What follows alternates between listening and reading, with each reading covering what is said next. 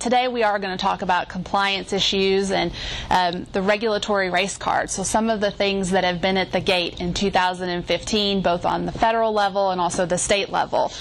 Um, if you have any questions, please stop us as we go through. I think it's good to ask questions as we talk about the topics, um, but we'll also have some time at the end to do that a lot of the things we're going to talk about are consumer related, and I know a lot of people in the room do uh, commercial workouts or commercial lending, and so at this point you might glaze over or you know take another trip to the buffet. But this is important for you to listen to for a number of reasons. One, um, I think all financial institutions have had to adjust their budget, and so you might see that a lot of money is going over to your consumer folks. A lot of people are over there. Um, you know, you've had a manpower shift, and you might not understand why there has been this shift in budget. We'll tell you why. Uh, the CFPB, and we'll go into that a little bit more detail. But we've had some significant regulations that have come out in 2014 and 2015, and it really has challenged financial institutions in the way that they allocate their resources. So it's important for you to think about for your institution what's happening on a global scale. And so I think this will give you a little bit of insight into that. Also, I mean, most of us own homes, so some of the statutes that we'll talk about today and the changes will impact you as a homeowner or uh, if you sell your home or if you buy a home. Um, also, too, we all get that call at least once a year at the family reunion from someone saying, I know you went to law school or you work at a bank. What happens in this situation? You know, how can I sue my car dealer or whatnot? So we'll talk a little bit about that. So now you have something to say, well, I've heard about this, but you should go contact an attorney. So um, it's important on that aspect as well. And then it's just good to know what is going on uh, generally in the uh, lending landscape. I am going to talk about a lot of the changes on the federal level, in particular with the CFPB. The CFPB is the Consumer Financial Protection Bureau. It was created in 2010 by the uh, Dodd-Frank Act, and the CFPB really considers itself to be a cop on the beat for consumers. So it is uh, their objective to make sure that consumers are treated fairly, that they are not confused uh, throughout the I mean, it's been the lending process, but in some ways they deal with everything. So uh, for the last couple years, we've dealt with them not only on the regulatory side, but also the enforcement side. So the CFPB um, writes regulations for most of the federal consumer protection statutes. They issue proposed rules. We've had a number of final rules. They issue bulletins. They issue letters. They do all kinds of things. Um, they also have enforcement actions.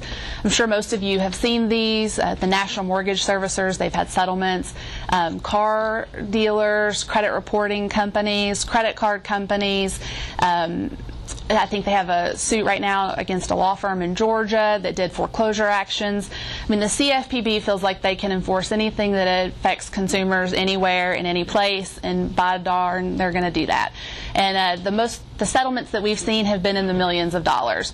It's a huge organization. They have droves of attorneys on the enforcement side, also on the regulatory side. Their budget is, I think, five times what the budget of the OCC was.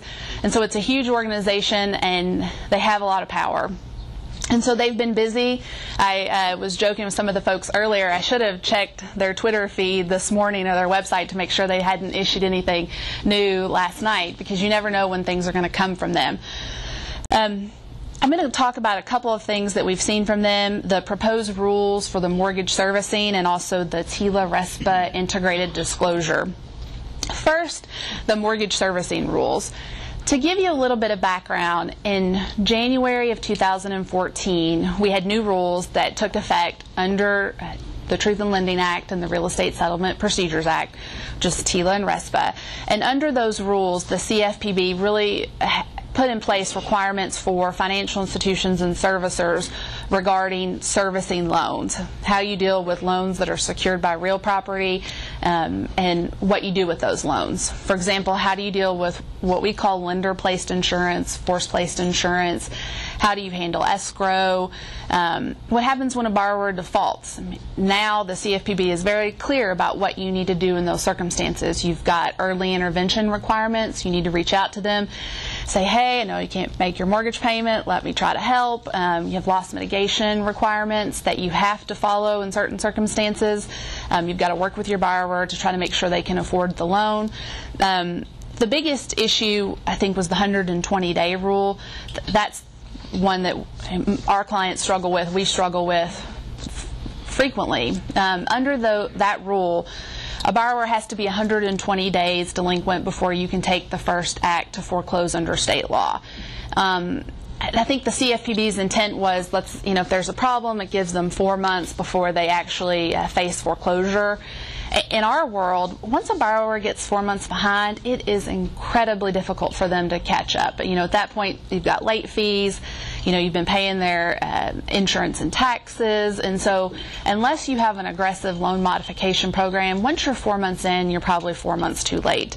Um, but the CFPB, in its wisdom, said, you know, no, you got to give them 120 days. So for the last year, we've been struggling with some of these issues, and there are a lot of unanswered questions the 120 day rule that I mentioned before, is it applicable to commercial loans? The CFPB never addressed that, but I mean, we all know that we sometimes have our commercial loans that could be secured by the borrower or the guarantor's residence.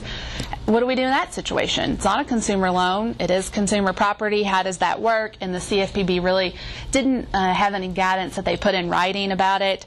Um, what does it mean to be delinquent? That has been a reoccurring issue how do we comply with these rules and our other obligations, for example, under the Bankruptcy Code and the Fair Debt Collection Practices Act? Um, loss mitigation review, how many times do you have to do it? Um, the CFPB from January of 2014 said you need to do it at least once. Well, at that point, I've seen borrowers who have had five reviews. I think the CFPB is now like, well, we should give them another chance. I mean, how many reviews do you really have to go through before you can take that foreclosure step? And then um, how does litigation impact the loss mitigation re review under the mortgage servicing rules? We deal with a lot of uh, consumer litigation. So when you're in litigation and you have a judge telling you, I don't care what you do, I want an order in this court in two weeks saying that you can foreclose, well, it's like, I, it's really hard to tell a judge that I can't do that because the CFPB says I've got to do this. I mean, that's um, a struggle on how we uh, deal with both of those issues. So the CFPB uh, has issued a proposed rule. I don't like to talk about proposed rules. I think if you do compliance on the consumer side, you should absolutely print off the 167 pages of the proposed rule and you should highlight it and you should know about it. But you never know what the CFPB is really going to do until we get the final rule. In this instance, though, I think it's important to talk about the proposed rule because we can see where the CFPB is going, some of the issues that are on their radar, and what we should probably do while we're waiting for the final rule, and maybe it can guide us as we make these decisions. Um, the proposed rule addresses nine major topics. Comments were due uh, March 16th of this year. Um, I've listed the nine here. I'm going to talk about a few of those the CFPB has said, you know, they study everything they do, and they do have an entire team that just studies things. I mean, they go out, they interview consumers, they test forms. Um, here, the CFPB said that, you know, they've been in communication with members of the industry and that they've identified further issues that continue to pose implementation challenges or require clarification. Um, or, the CFPB believes that there are some unintended consequences or the rules are failing to achieve the CFPB's desired objectives. In looking at these proposed rules, the CFPB is not happy because they want more protections. And so when we talk about that, you'll see that they're trying to make that mortgage servicing rule that we got in January cover a number of more things. Some of the things I found interesting in this proposed rule, and again, we'll see what happens, but the CFPB has been pretty similar in what they propose and what the final rule looks like. Successors and interest, uh, the proposed changes. A successor in interest, in most instances, is you know when you're borrowing or your borrower has passed away, do you have a, a borrower spouse um, who is left with the property? Maybe there's a spouse who's not on the loan, um, but that individual would be a successor in interest. Heirs, if they inherited the property. Um, I've seen a lot of instances where there's a divorce, and so one spouse is going to keep the property. That spouse may be a borrowing, uh, may be a borrower. They may not be a borrower. It just depends. Um, but the CFPB has said that you know, they intended for the mortgage, servicing rules to cover successors and interest. Um, so that was their intent. Maybe that's not what the rule stated, but their proposed rule will require servicers and financial institutions to take those protections and apply them to successors and interest. Um, under the proposed rule, servicers uh, or banks, financial institutions will have to confirm the status of the successor in interest. Once they receive documents confirming that the person is a successor in interest, the uh, servicer needs to work with them and provide all the protections that they would a normal borrower. That includes um, you know, the loss mitigation requirements, the 120 day rule, uh, the notice of error and request for information, uh, that the old qualified written request, all of that a successor in interest would be able to take advantage of this is a challenge because in some instances, you know, what if it's not clear who gets the property, or what if there's a fight about who gets the property? Now, is the servicer brought into that and kind of has to wait until that plays out? Um, I had a case where there wasn't a fight between new wife and um, husband's children about who was going to get the property. Wife was living in the property, no one really knew what to do, and that went on for about a year. And I think it was a pretty high dollar property, so you can imagine the amount of the default once they had figured that out. Um, according to the CFPB, you've got to give them these protections. They they're not required to assume the loan to get the protections. So you've got to do the loss mitigation review. If they qualify for a loan modification, then they need to assume the loan and do the loan modification all at one time. And that um, is something that servicers, I think, have been doing under the Home Affordable Modification Program. There is a simultaneous assumption modification.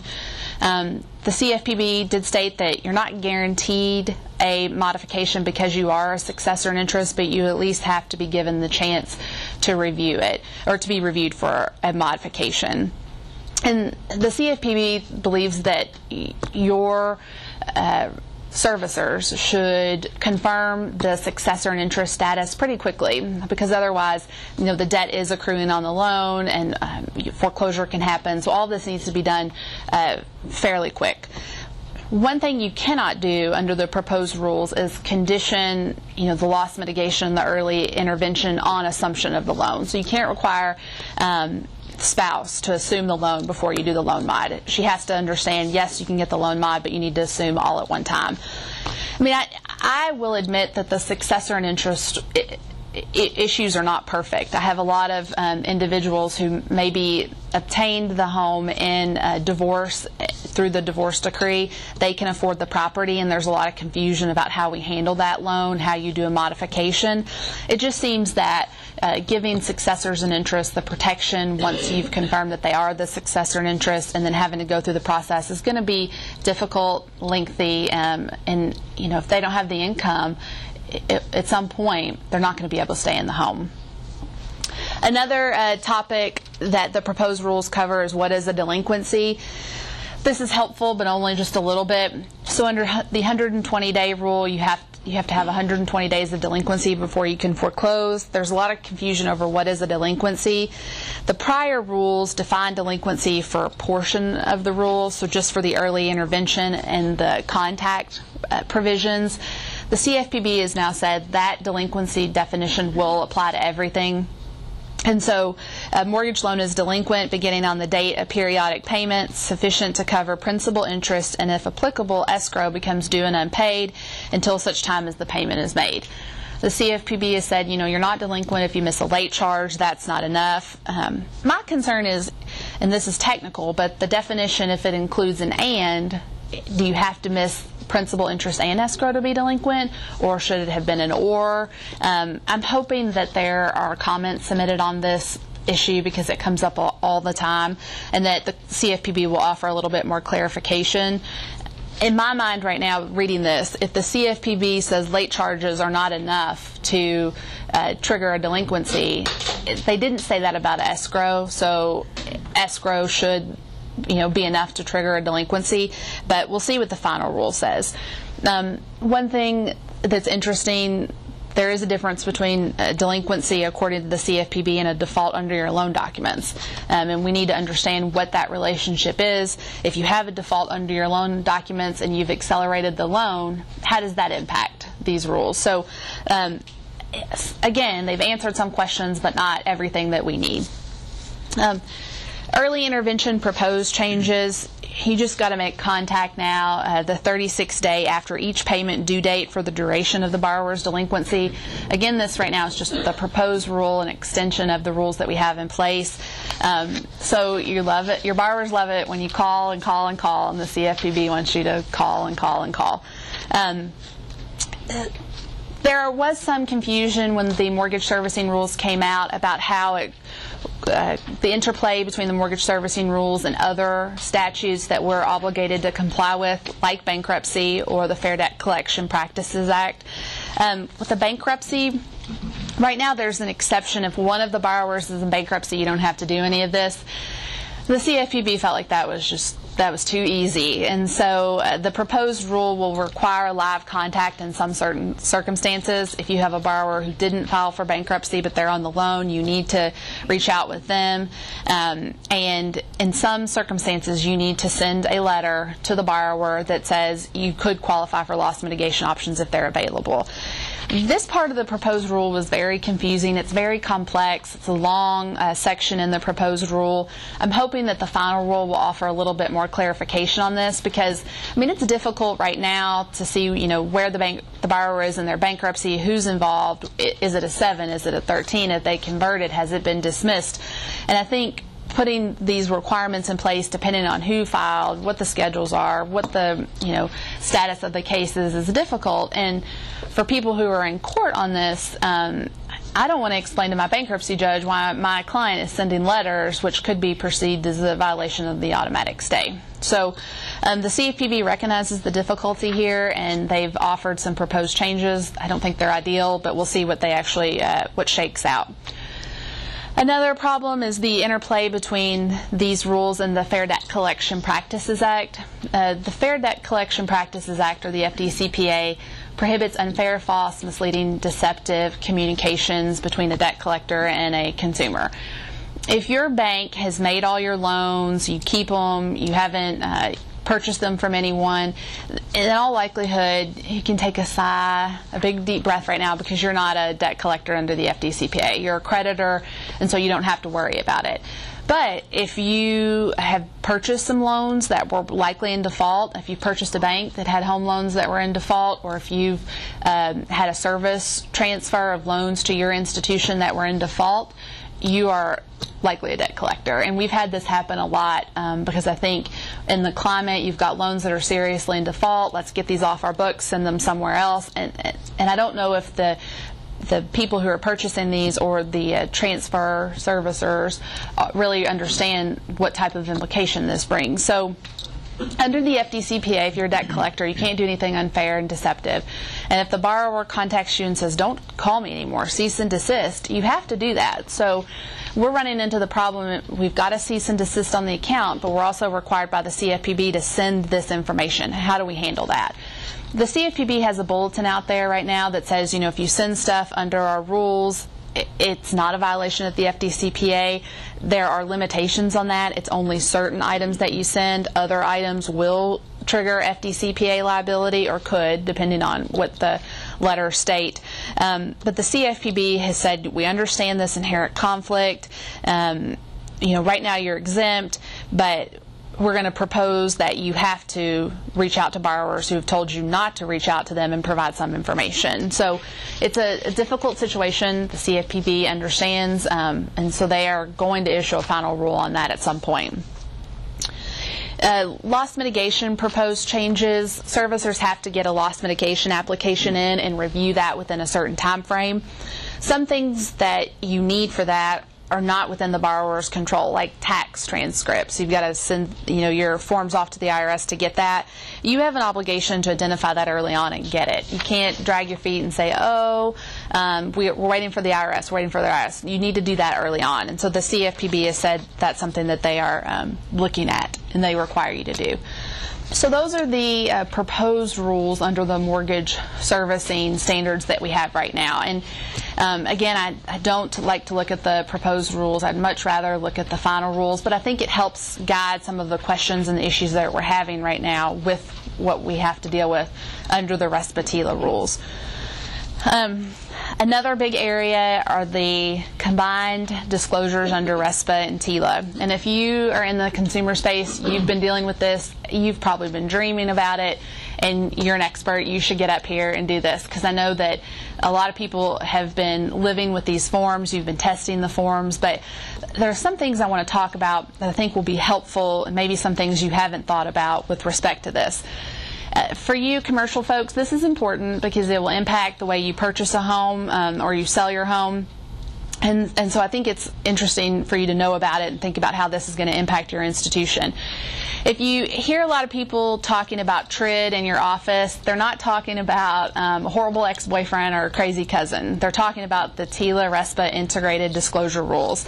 So that's a little bit of uh, consumer finance funny for you this morning, uh, that these are the TRID rules.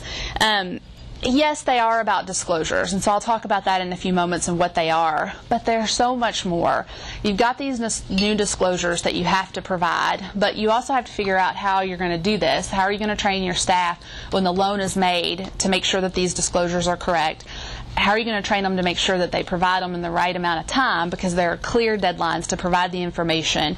What type of processes and procedures are you going to have in place at, when the loan closed to review these, to make sure that they're correct, make sure your tolerances are correct? Um, and then how are you going to handle this with your investors? If you don't hold your loans and you sell them, what are your investors requiring? Um, what type of quality control review do you have? And um, what are you going to do when they're wrong? And your investors like, I'm not taking this. You got to take it back. I mean, how are you going to implement that? Um, the forms are also very difficult, so I'm sure you all have uh, contacted your existing vendors or new vendors to help uh, you with these forms. Um, that triggers vendor management under the CFPB. So, what do your contracts say with your vendor? What are your terms? Are you making sure that your vendor complies with uh, consumer protection laws? Because the CFPB prote- expects you to do so, and it's my understanding that that's something that they're looking at at their in their exams. And more importantly, too, with these rules, they were made under the Truth in Lending Act, and so they have liability associated with them. In the past, when I had a borrower tell me my HUD was wrong, I don't care. There's no liability for it. That's established law in the Sixth Circuit. I mean, you can jump up and down about that all day. There, there's no issue here. Unfortunately, we can't do that anymore. So there will be liability if the forms are not correct under TILA, um, if the, they're not given the correct time period, and if the tolerances are not correct. And it's a $4,000 violation. It's also attorney's fees. Um, that's where I think we run into the big deal is what are the attorney's fees? And these are factual issues. I mean, how am I going to prove that a borrower got a form three days or seven days? And um, so there will be litigation associated with this, and we, it will be expensive. Um, what is what are these disclosures? For those of you don't, who don't know, you know when you would get a loan, you'd get sign up for the loan, you would get a good faith estimate and an early TIL. Um, that has all been combined into the loan estimate. When you would close the loan. Um, you would get a HUD and a final TIL. That has all been combined into the closing disclosure. I don't see Rick Vance in the room. but There he is. He jokes when I say this, but um, these the existing documents, not all of them, but many of them have been around for longer than both of us have been alive. Um, and I mean, I, I heard someone say the other day that this is the biggest change in consumer lending in the last 40 years. I mean, it's an entirely new playing field with the documents that we have and the, the forms that they are. So all of this takes place August the 15th, which is why I know the consumer folks, you've been dealing with this. You've got your forms in place. You're ready to rock and roll. Um, the CFPB is still issuing little, you know, rules and changes, and so it'll be interesting to see what they do. I mean, these are going to happen. The Dodd-Frank Act required the CFPB to look at these forms and create new disclosures, and um, it, took them five years to do it, but I mean, we're rolling down this track and we're going to have these new disclosures in August. So, the loan estimate you will get three business days after you have an application. In the past, you know, what an application was kind of fuzzy. The CFPB has said no. Once you have six pieces of information, three about the consumer, three about the property, then you have an application and then you need to issue the disclosures within three days. Some people have said, and when I say some people, only the CFPB has said this, I think, that it, it levels the playing field. Now everyone knows when you have an application and you have to send out this loan estimate. And so, uh, whether that will be true, who knows? But once you have the six pieces of information, if you're just a borrower, you are entitled to a loan estimate, which will tell you about the key terms of your loan. The CFPB did some extensive testing on this, and they went out to consumers and wanted to know what terms were important to the consumers. So, the first page has the key terms, like the loan amount, the interest rate, what your monthly principal and interest rate will be, your prepayment penalty, and your balloon payment. On the first page, there is a box that says your estimated cash to close. It shows what you have to bring closing uh, at the closing date. What what kind of cash you have to bring at the closing. There is civil liability tied to some of these figures. If the Dodd Frank said that they needed to be implemented and you don't get it right, then you could have TILA liability. And I do have, yeah, this is just a picture of the what the loan estimate will look like. Um, it's three pages, the sample one that the CFPB has. The APR is moved to the back. I think a lot of people who have been doing consumer finance for a number of years have found that to be very bizarre. Um, the CFPB determined that consumers didn't know what the APR was. Wasn't that important to them, just stick it in the back. Um, the amount financed and the finance charge are no longer disclosed on this loan estimate. Um, there's a new term, the total interest percentage. I don't know how helpful this will be for consumers, but it's the total amount of interest that you will pay over the loan term as a percentage of your loan amount. The uh, loan estimate also includes uh, notice about the appraisal, the servicing disclosure, so saying whether your loan will be service released, um, and there is a sign, a place where you can sign to say that you've received it, which would be really helpful in the litigation. The uh, other disclosure is the closing disclosure. So this is number two of the TRID rules, and it it can be from five to six pages. The sample that the CFPB has is um, just five pages. Some interesting things about this: it it identifies mortgage insurance on a loan, but it also says, you know, how long it will be on the loan. So for this one, it says years one to seven, you'll have mortgage insurance. Years eight to 30, you will not. I think that's an interesting addition. It may be helpful for consumers, um, but it might be difficult to calculate. There's also what we would always consider the HUD, showing all the charges in and out of the closing. Uh, the, that's still there. All kinds of other information. Um, it, it's going to take some consumers, you know, an hour to sit down and think about all of this they have to get this closing disclosure three days before the closing. So uh, that will give them time to review it, understand what's going on. The closing disclosure has a uh, section on assumptions, whether the loan can be assumed, um, what can happen in the future, and the thing that I find most interesting, there's a section that says liability after a foreclosure. So, can your bank get a deficiency against you after a foreclosure? In some states, this is easy other states not so much. I mean, Oregon, you, you, can get it, and sometimes you can get it in you know other cases, and so and it really depends on the facts of the underlying loan. So, I mean, how do you disclose that if you're a servicer, um, and especially if you are making loans across the country? You know, you have a lot of different options that you can put there. So, um, the CFPB thought all these would be helpful, but in some ways they're just making things um, much more difficult. If the terms change, you have to redisclose. You've got to send a new disclosure to the consumer, and that has to be done within a certain period of time in some instances before the closing. Um, this is just going to be a delay. And so, you know, if you're a buyer and you're trying to get into a home, these may these disclosures may cause you problems. And I read an article the other day that you know real estate agents don't don't know what's kind of coming down the line because they're not really impacted by this, and so that this is going to impact their business, and maybe they haven't fully appreciated it just yet. One, um, a couple more things on the TRID rule that I'll go through pretty quickly. The it applies to closed-end consumer loans secured by real property. I've had a lot of people confused by how manufactured homes work. In Kentucky, uh, our manufactured homes, we all intend for them to be part of the property. Whether they actually end up that way, it's a mystery. It is case by case. But in those cases where you intend to give a mobile home, it's supposed to be part of the property, and you're doing a loan secured by the real property, these uh, disclosures would apply. The form is also dynamic uh, for those IT people out there. I think that's interesting. So now you've got to fill in every little box. So if a particular term is not applicable, it won't be on the form anywhere. Um, I, I'm not IT savvy, and so I think this sounds super complex and confusing, but Um, it's supposed to eliminate all of those empty spaces and things like that for things that are not applicable, like an adjustable interest rate if you don't have it on your loan. Um, how are we doing on time? Do you know? Okay. Um, I, I'll skip over the TILA right to rescind because I think it's in some of the other areas, and I want uh, Brian to talk about some of the important things he's got on his slides.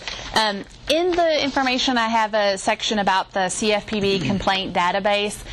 If you do consumer loans and you have not checked the database, you need to. Um, I have some clients, I was bored one night, I checked it for them because I'm sitting at home just searching around on the CFPB's website, which officially makes me a nerd. Um, yeah. But Just for the record, that's not what I'm doing. Uh, no. So that, um, and so you need to look at it. It's really interesting. I mean, I looked at Kentucky just to see what was out there. There's quite a few, mostly credit reporting, credit cards, and claims relating to national mortgage servicers. Uh, the database discloses the zip code, the state, the company, the company's response, and how the complaint was submitted. It also discloses the product and the issue. If you've got a particular product that you've got some concerns about, just troll around on there one day and see what uh, consumers are complaining about. If a consumer is complaining about one particular product on multiple occasions, that's probably a good sign that you've got some issues. Um, and so it's something to look at. The CFPB, I, I think, are absolutely looking at that, and uh, there's a new push that they're going to make the complaints and the details available to the public it's a problem. They just publish the stuff up there. I mean, if you've ever dealt with a CFPB complaint, um, you know that borrowers will get on there and just say whatever they want, even if the case is involved in litigation. So I think making this information as public is a problem. Um, I can see some aggressive plaintiffs' attorneys also trolling around on there and saying, oh, you know, X institution's got all these problems. I'll sue, and this will be a class action, and I'll just be busy for a year, you know? So get on there, see what's out there, um, and just take a look. As of right now, there's been about 550,000 complaints. In 2013, 37% of them were mortgage related. In 2014, only 20% were mortgage related. I don't know if that's a sign of the financial climate. Um, but it's something to think about. The new issues are debt collection complaints. So I think that's a sign of where uh, consumers are not happy where the CFPB is going because I fully expected that we would have revised rules under the FDCPA today and we'd be talking about it, but we don't. Um, but it's a problem, so it's something to look at. I've exceeded my time, so I'll let Brian talk for a moment. Well, as, as uh, Katie said, uh, my name is Brian Bennett, and uh, I'm I'm two years, I think, behind Katie, and so Katie's taught taught me everything she knows, which, as I think is evidence today, is, is quite a bit. Um, and so I, I, always I always go to her whenever these complex questions come up. Um, but yeah, uh, thank thank you all first of all for being here today. Can you all hear me fine? Because I may I may sit back a little bit. Um, so um, what I'm going to do, Katie's kind of talked uh, on some of these specific issues that you'll um, are probably already dealing with or will be soon. Um, this is, I think, the third year in a row we've presented on some of these issues. And you know, when Katie's talking about this delinquency issue, I remember one of the audience members asked that question about whether whether taxes and insurance is covered, and I remember stumbling through my response because I was like, "Well, that was Katie's part of the presentation, and and she's not here today." And I'm here today to say we still don't have a clear answer. From yeah, and, and, and, and, so and so if we don't have the questions, it's it's the C, or, or the answers to your questions, it's the CFPB's fault because they haven't given us the, the guidance yet. Um, but but no, it's it, it, it is fun, and, and Katie jokes about um, you know checking on Twitter and everything. But I mean, honestly, that's that's kind kind of how you have to track the CFPB. I mean, it's it's a new animal. You have to you have to follow social media or follow their website, and they do have a user-friendly website, and so it is helpful to go get news, to go get information. But I mean, um, that's really how we get our information, and then you know there's a big enforcement action, and that's where they're going next. Um, I did look. Um, just at a couple of highlights, the CFPB had a panel earlier this month um, some of their enforcement examinations and rulemaking individuals were there. And just a few highlights that came out of that, kind of on a macro level first. Um, the number number of examiners in the Office of Supervision at the CFPB has doubled in the past year alone. And so, you know, I, I think just in terms of, again, a macro level, it kind of speaks as to, you know, they're, they're continuing to increase their staff. Um, they're continuing to go into other areas Um, they're continuing to get into a lot of these issues, and and you know hopefully what that means for us is that more individuals to help provide clarity where there isn't any clarity, perhaps. Um, but at the same time, it means that there's more people to do more work, um, which again I think can have positive and negative ramifications. But um, I, I thought that was startling to me that they doubled their, their staff in the Office of Supervision in just one year alone. Um, one of the other themes that kind of came out of this panel discussion was that they they did stress that um, in their supervision and enforcement actions that the facts matter, which obviously uh, probably does not catch you by surprise. Specifically, they mention um, in looking at unfair, deceptive uh, trade practices that um, you know the conduct that is that they're looking at that they're enforcing um, the facts matter and the facts matter in terms of um, whether enforcement is actually appropriate and the facts matter also in terms of what penalty is being assessed and so what, what this means is um, as Katie talked about we're doing increasing amounts of compliance. And so, what this means is the more you're doing to be proactive about some of these issues that we're discussing, the more lenient the CFPB may be in terms of, you know, if there's things that aren't compliant, then the more leeway they have to to work with you in, in the result. But the, the third thing that, that I took away from this panel discussion was that remediation to consumers is non-negotiable. And so um, I, I thought that was interesting just from a macro level, kind of looking at the issues that, that they're talking about, because again, that's kind of where they're going next. Um, so in January 2015, um, there was this consumer mortgage shopping report, and um, this was done looking at home buyers in 2013. Um, and so last year, uh, Katie and I, and, and, the year before, I believe, we, we were talking about ability to repay standards, uh, qualified mortgage rules under the Truth in Lending Act. Um, these regulations became effective January 10th of last year. Um, and so there, has been a spotlight on the mortgage industry and um, you know basically making consumers aware of options that are available in the marketplace for them to you know shop shop the terms of their loan shop for their loan term shop for the loan type shop for their interest rate. And so these are again just kind of on a macro level um, you know I, I, think the result of the regulations that we, we talked about last year is that um, you know lending has frozen a little bit. There's there's less risky type of loans. There's less adjustable rate loans, um, interest only, negative amortization, um, and so we're seeing more more vanilla loans. And so a lot of, a lot of this um, anecdotal evidence that they're looking at and the statistics they're looking at from 2013 was pre um, these regulations coming down. So I don't think it fully encapsulates some of the issues we were talking about last year. But um, as you can see you know, almost half the consumers fail to shop around, is what they're finding. Three out of four are only applying with one lender or broker. Um, most consumers are getting information from lenders or brokers who have a stake in the outcome, um, and that informed consumers are twice as likely to shop around. I mean, I, I don't think there's anything too um, shocking about that, but again, I mean, this is what the CFPB is taking this data and then creating the rules around around that and, and, and you know hopefully also educating which I think is a beneficial thing for, for everyone um, both on the industry side and the consumer side. Um, so kind of where this January 2015 consumer uh, mortgage shopping report led to is the know before you owe mortgage shopping toolkit. And so that is this right here. It's uh, about 25, 26 pages. Um, has anybody seen seen this yet? Okay. Um, so currently, there's there's in place um, a HUD booklet that is supposed to be passed out to consumers at the time of their mortgage application. So this is going to be taking over, and in conjunction with some of the forms that Katie was talking about before, um, the disclosures that are required or will be required as of August 2015.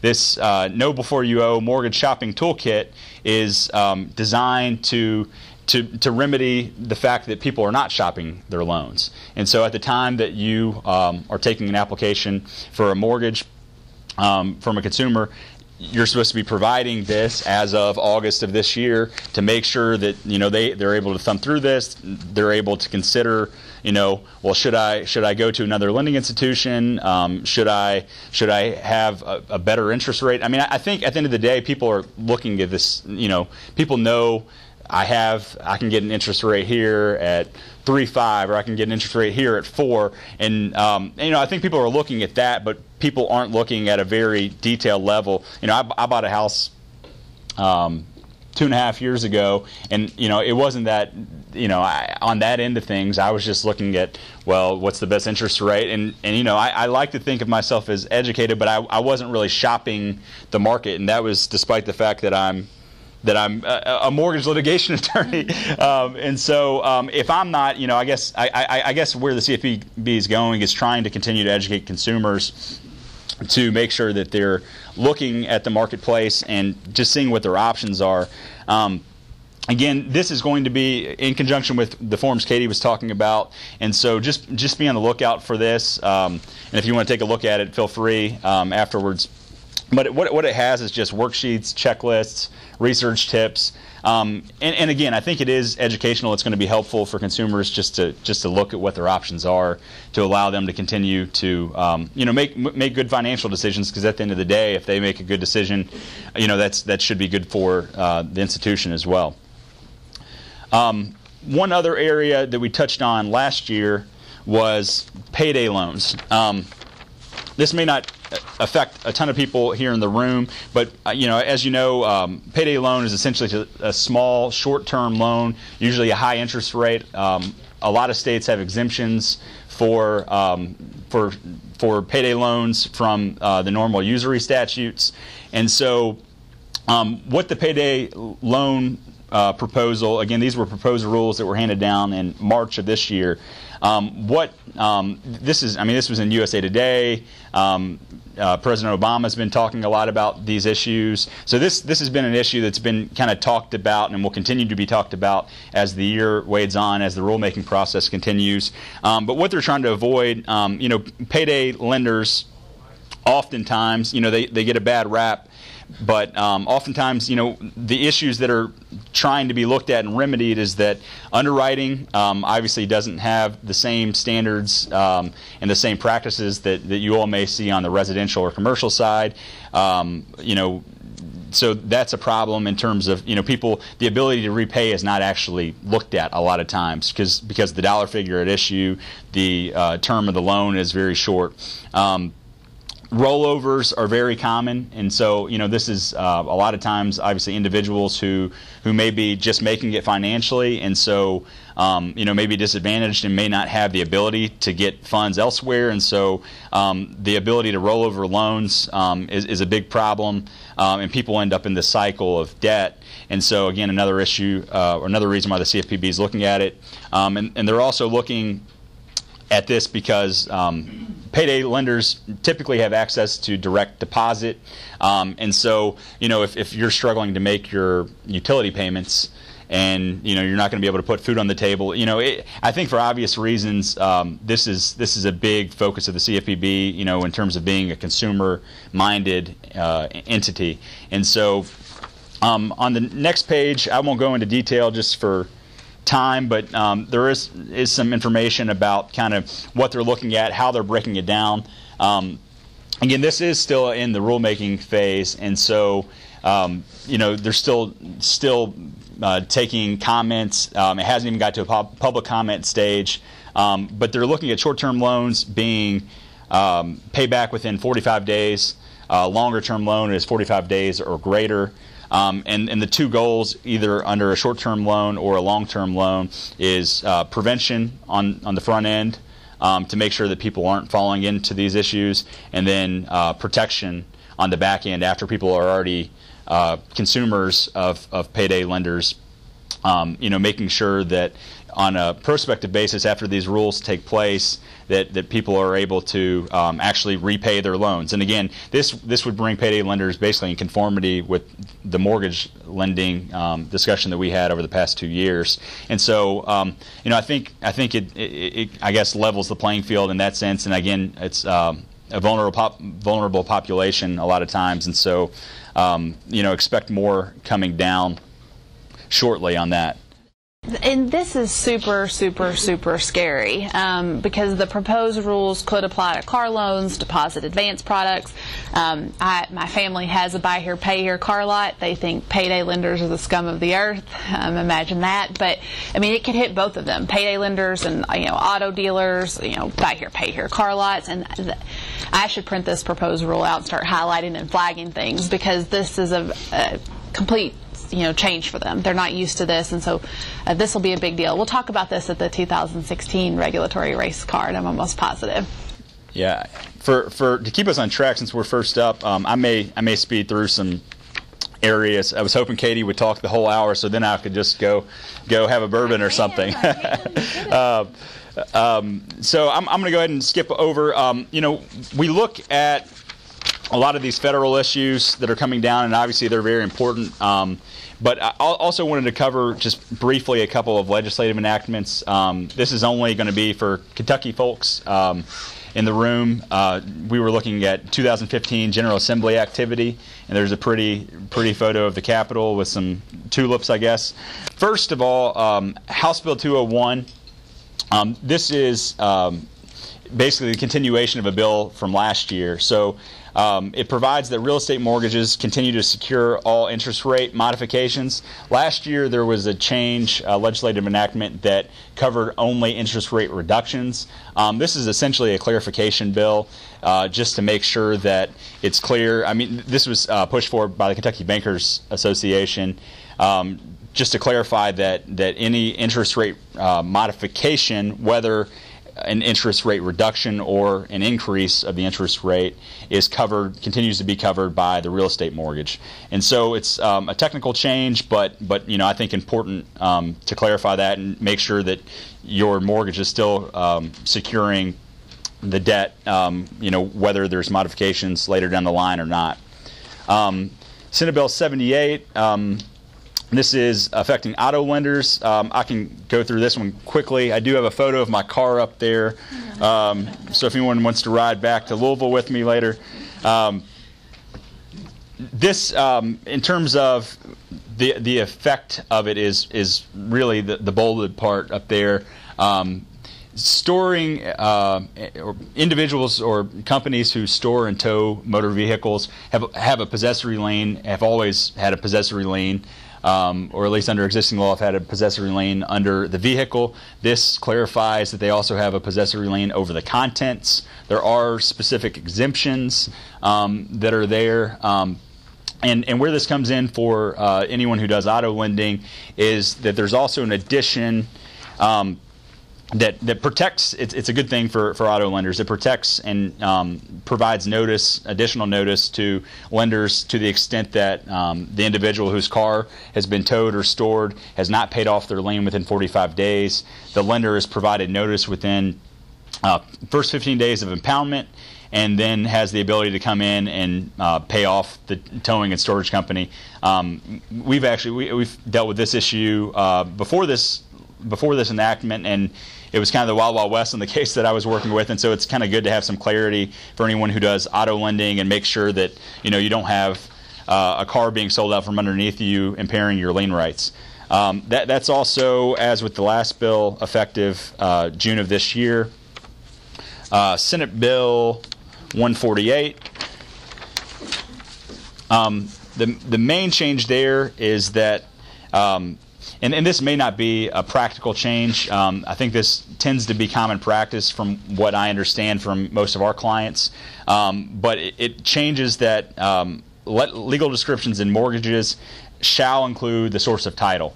And so, what this basically means is that um, you need to have a reference to the book and page number of the deed um, in the mortgage and not just and not just the deed that's being recorded uh, for public record. And so this is uh, basically to help with chain of title issues so you can go back and forward in the chain of title and help um, you know see where the person who has given a mortgage interest away um, where they derive their title from. And so it's it's again probably not a huge departure from what's already being done. Um, there's a question Yeah, I, I, should have clarified that. I, my, my, desire to rush through to keep you all on track, it, I kind of breezed past that part. So, um, so these were in the legislative session for for this year um, in the spring. Um, these have already been signed into law. The ones I've talked about thus far. Um, I do have the effective dates on, on, these. So there's an effective date that's set by the Attorney General opinion. Um, each year, and so all these that I've discussed thus far will be effective June of this year. And so, um, yeah, sorry I didn't touch on that. Thank you for asking that and clarifying. Um, there will be, actually, the, the, very next one that I was going to talk about, um, Senate Bill 204. Um, that does have an effective date of January 1, 2016. Um, what that is, is uh, just Kentucky's adoption of the Uniform Voidable Transactions Act. And so basically, um, you know, think of someone who is trying to manipulate or um, conceal assets. It basically brings Kentucky in conformity with um, 40 plus other states. Um, we're one of the last states who who has some form of the Uniform Voidable Transactions Act. Um, the Uniform Fraudulent Transfers Act was uh, adopted in 1918. There's a lot of states um, who have who have that version. It's an uh, older, outdated version of the Fraudulent Transfers Act, and um, the new law basically just brings brings in um, to conformity with uh, federal bankruptcy law, um, other states who have already adopted these laws, as well as um, just modernizing to, to you know consider new technologies and things of that nature. So House Bill 470 was not passed; it was actually formally withdrawn uh, in February of this year. As I understand it, due to strong opposition from um, consumers and consumer advocacy groups. Um, Kentucky is a judicial foreclosure state. And so, what that means for us is, you know, after you take into consideration what Katie's talking about and uh, the CFPB rules, 120 days delinquency, you know, the bank contacts, probably not us usually, um, but maybe a, a, colleague firm that we work with, um, and they they file a foreclosure complaint. That foreclosure complaint is like any other lawsuit, allows the borrower then to have 20 days to respond, to raise any affirmative claims that they have against the institution. Um, and you know, a lot of times when we come in is when it becomes contested litigation, and so we have cases that you know we have cases some dating back to 2009 that are still active. And and this is the consumer, but the foreclosure process is the same for commercial and consumer loans in Kentucky. You got to go to court. You got to file an action. Um, whereas I know some of our uh, folks down in uh, Tennessee and Georgia can take advantage of the non judicial foreclosure component where you just send out notice um, and then you. I always love it that you say you cry the sale, or I, I know I probably screwed that up because we don't do it, but uh, we can't do that here, unfortunately. And the KBA tried. Um, but it didn't work out very well. Yeah, and um, on some of the last slides, it kind of lays out kind of the, the positions. Um, I, I mean, I, I, think there's definitely some some benefits to the process, and um, you know, there's experts in the room, people who are already going through this. I know a lot of our Georgia attorneys uh, deal with non-judicial foreclosures daily. Um, and so um, I think I think it's interesting. Right now, it's more of a policy discussion. Um, some of the benefits um, that are being laid out by KBA, among others, is is you know it, not not all cases. Um, you know, there's a lot of a lot, a lot, of costs that go along with the judicial foreclosure process, and so um, a lot of times those costs can be passed on to consumers. And so there's some efficiencies in doing uh, non-judicial foreclosure. And um, the law, there's some dis- debate about this in terms of how the law is drafted, which will probably be revisited next year. But um, it does allow the non-judicial proposed bill allows for consumers to request a judicial process. Um, in terms of how that's drafted, how that's worded, I mean, I think I think there's some dispute as to whether the lender actually has to follow through with that. Um, as I read it, I don't see any trouble with it, but obviously the language may be tweaked next year to find some common ground. Um, but I think it'll be interesting to see where this goes because a lot of what we do um, is is helping out with contested. Uh, mortgage litigation cases, and so you know it's all judicial process overseen by the court and the circuit court. Yes, ma'am. I just had a question. If you make a commercial loan and the borrower puts up their home for collateral, you have a mortgage on it, what laws apply to that? Do the consumer laws apply to the mortgage itself? It's um, it really depends on the statute. Most of the consumer financial protection statutes apply only to loans that are made for personal household consumer purposes. There's some key language. Um, th- this question comes up once every three or four months, and so different jurisdictions have different case law on it. Um, most of them are for that purpose, but the concern comes in um, on these 120 day rules. For example, is you know if it is a consumer loan, the loan was made for commercial purposes. How does the, all of that interact? And so, um, you know, the CFPB comes out to some of the conferences we attend in droves. I've tried to get them, you know, to nail down their position on that, and they haven't been so uh, helpful.